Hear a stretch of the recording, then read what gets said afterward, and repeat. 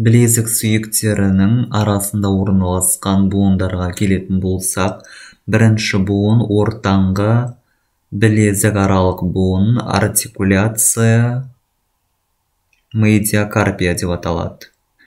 Бұл буын бізде проксимальды орналасқан білезік сүйектері мен дистальды орналасқан білезік сүйектерінің аралығында орналасқан буын болып саналады. Және қызметі жағынан кәрі жілік білезік буыны секілді пішіні жағынан с әрпін тәрізді болып келеді. Және де бұл буынның басына келетін болсақ бір басы мына қайықша тәрізді сүйектен тұрады екінші басы ілмек тәрізді сүйек және үш қырлы сүйектерден құралатын болып саналады. Бірінші буынның басы яғни бұл мына қайықша тәрізді сүйек бұл трапеция тәрізді сүйек және трапеция тәрізді сүйектермен өзара беттесетін болып саналады. Ал екінші буынға келетін болсақ ол ә, мына үш қырлы сүйектермен сонымен қатар жарты сүйегі және ілмек тәрізді сүйектермен өзара байланысқан. Буын беттері гиалинді шеміршекпен көмкеріледі буын қапшығы боста орналасқан бұл буындарда. Сонымен қатар оның ә, буын беттерінің жиектеріне өзара тартылып орналасқан болып саналады. Ә, және де бұл буын ә, білезік сүйектерінің аралық буыны артикуляция интеркарпиямен жалғасатын болып саналады. Артикуляция интеркарпия яғни білезік аралық буын ол әрбір мына білезік сүйектердің аралығында түзілетін буын болып саналады.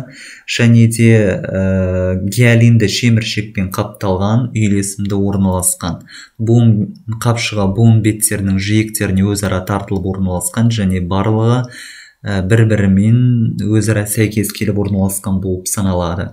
Ендігі бұл буынның байламдарына келетін болсақ бірінші байлам бұл лигаментум карпи радиатум.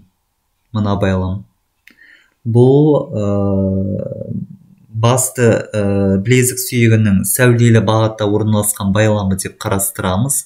Мына басты сүйек ос капитатумнан бастау алып жан жаққа сәулелі бағытта шашырап басқа білезік сүйектеріне барып бекитін болып саналады. Келесі ә, сонымен қатар Э, бұл э, буында бізде лигаментум интеркарпалия пальмаре және лигаментум интеркарпия дарзали деп аталатын өзара байламдармен бекітілетін болып саналады. Мына бетте алақандық байламы көрсетілмеген бірақ мына жерден лигаментум интеркарпия дарзалия яғни сыртқы байламын көруге болады.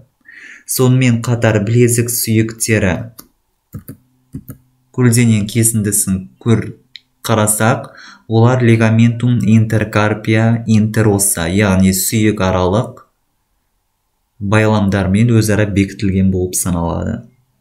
Келесі буын бұл бұршақ тәрізді сүйек яғни ос пезиформи үш қырлы сүйек ос трикветрумның аралығында орналасатын буын.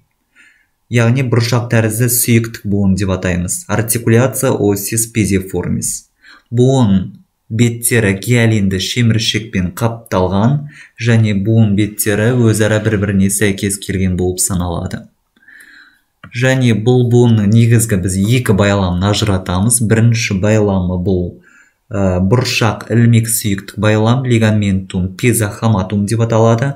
Бұл өздеріңіз көріп тұрғандай бұршақ сүйегімен ілмек тәрізді сүйектің аралығында өзара тартылып орналасқан байлам болып саналады.